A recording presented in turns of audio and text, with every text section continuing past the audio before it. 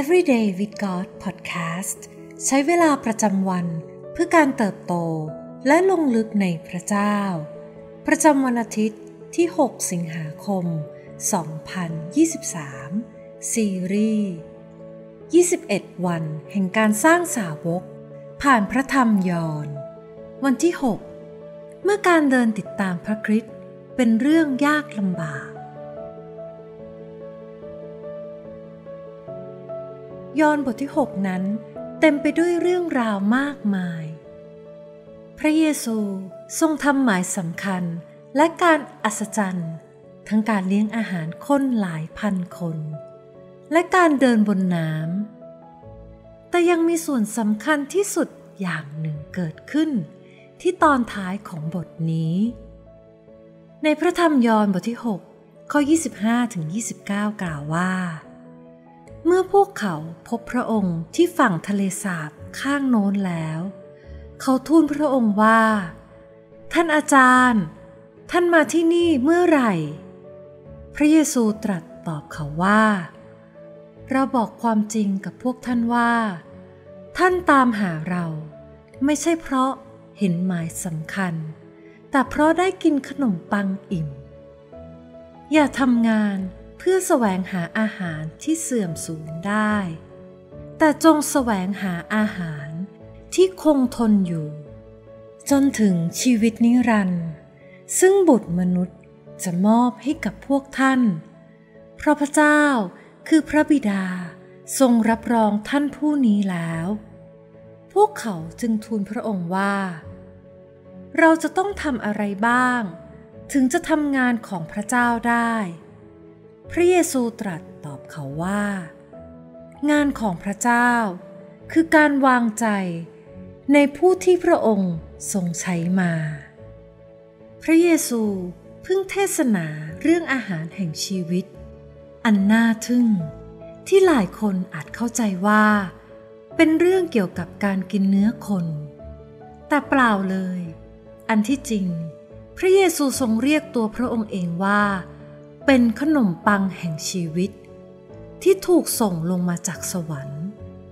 พวกชาวยิวเข้าใจการเปรียบเทียบนี้ได้ เพราะจากประวัติศาสตร์ของพวกเขา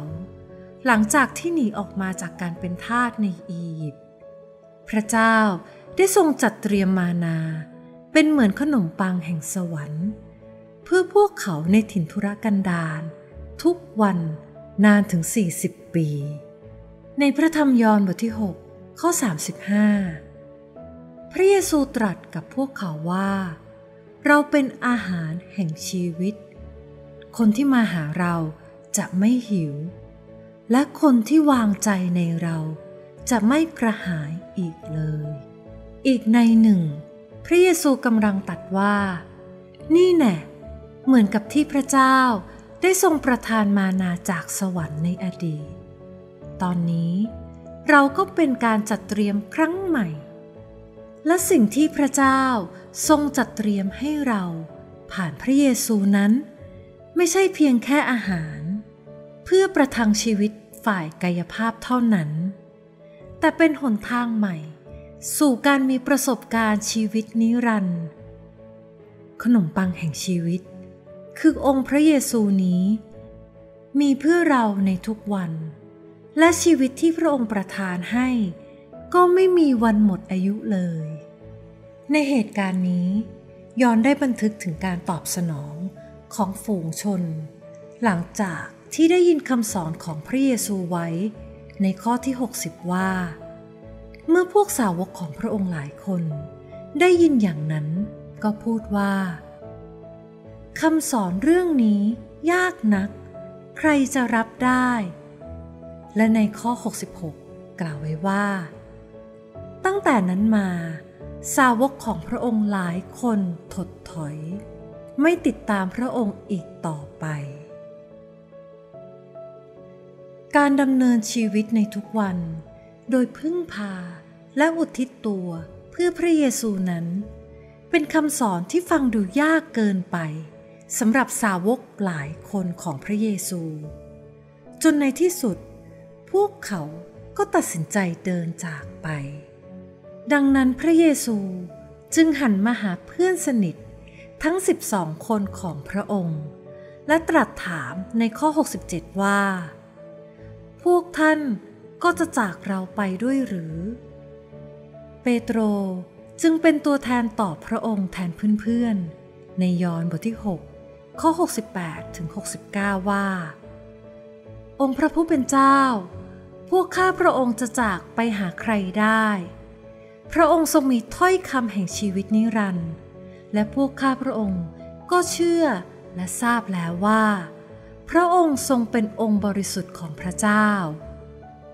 แล้วตัวเราล่ะ เราจะทำอย่างไร เมื่อการเดินติดตามพระเยซู กลายเป็นเรื่องยาก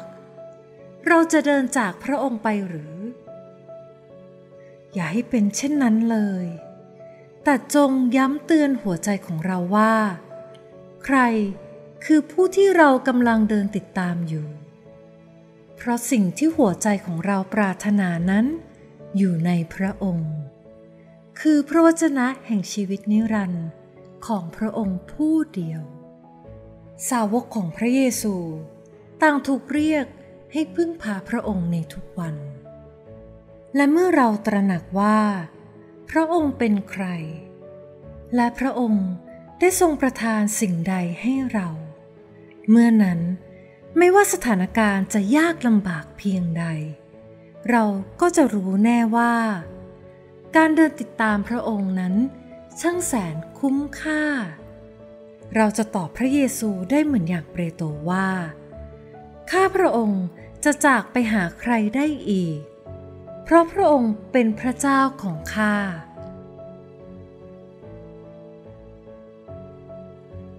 คำท้าทายในวันนี้ ลองจัดเวลาเพื่ออ่านพระธรรมยอห์นบทที่ 6 ในระหว่างวันนี้ ในพระธรรมยอห์นที่เราได้อ่านมา มีพระคัมภีร์ข้อใดบ้างที่บอกเราว่า พระเยซูทรงเป็นผู้ใด และพระองค์ทรงประทานสิ่งใดให้กับเรา ขอพระวิญญาณบริสุทธิ์ เร้าใจให้เราปรารถนา ที่จะรู้จักพระเจ้า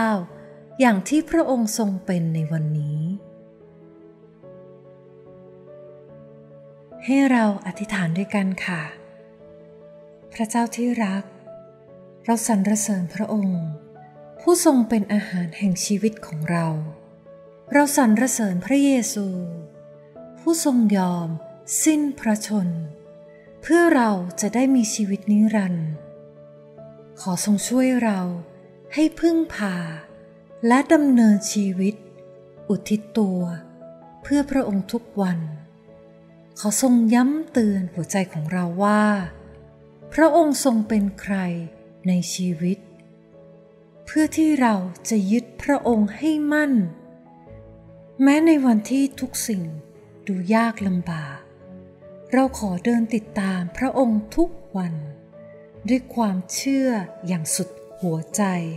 สุดความคิด และสุดกำลัง เราอธิษฐานในพระนามพระเยซู อาเมน